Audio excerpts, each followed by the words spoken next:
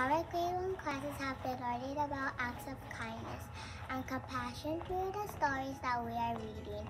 We are learning that showing kindness can make a big difference in the lives of people you know or the people you don't know. So Maddi's fridge, a girl named Sofia found out that her best friend Maddi and her family don't have enough money for food. Sofia and her mother decides to help Maddi's family. They are so thankful. We wanted to do something to help other people too. Grade 1 will be sponsoring our Ka'imiloa food drive. We are asking all of you to help by donating canned food so no one has to be hungry. All donations will be staying in Ewa Beach to help our community.